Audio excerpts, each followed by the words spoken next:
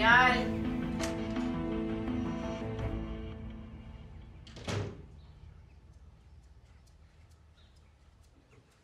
Günaydın Gülfem Hanım.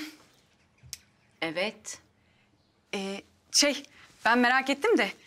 ...dünkü planımız işe yaradı mı acaba?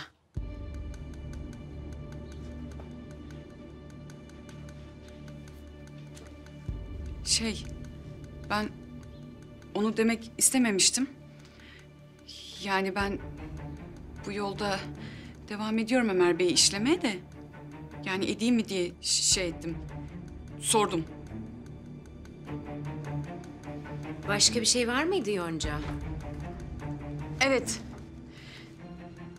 Gülru'yu istemeye geldiler dün. Kim? Babamın tanıdıklarıymış. Damat adayı sizin orada çalışıyormuş, muhasebede. Babam bu kez kararlı görünüyor. Başını bağlayacak Gülru'nun.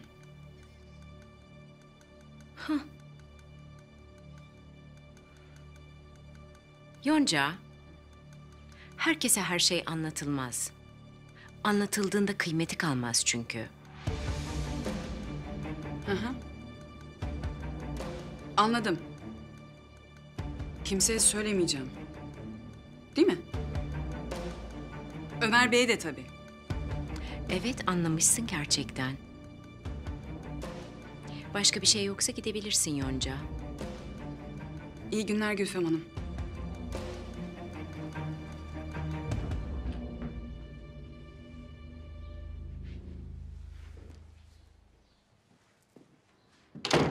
Ay, ne yapsak yaranamıyoruz ya. Bir hava, bir hava. Sinir kadın.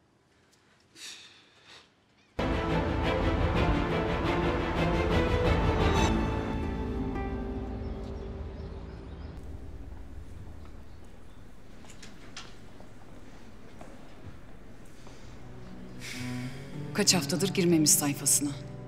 Tabii ya, çiçeğin peşinde.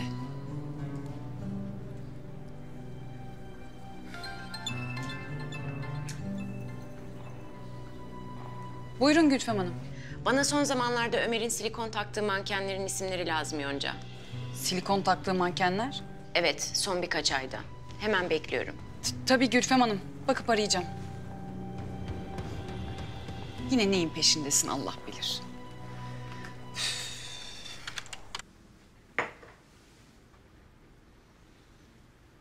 İyi görünmüyorsunuz Ömer Bey. Yapabileceğim bir şey var mı? Teşekkürler Yonca. Çıkabilirsin. Umarım Güdrü ile ilgili değildir.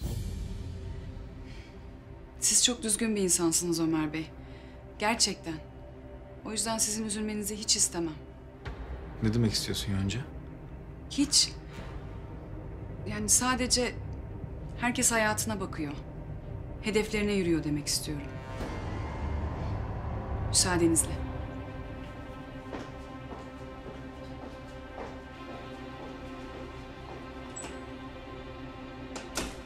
Bunların hepsi sınıf atlama özlemi içinde kıvranan kızlar.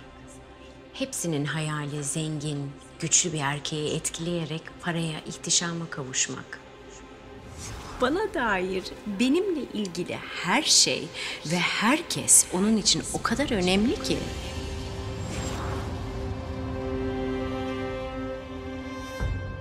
Kanalımıza abone olarak tüm videolardan anında haberdar olabilirsiniz.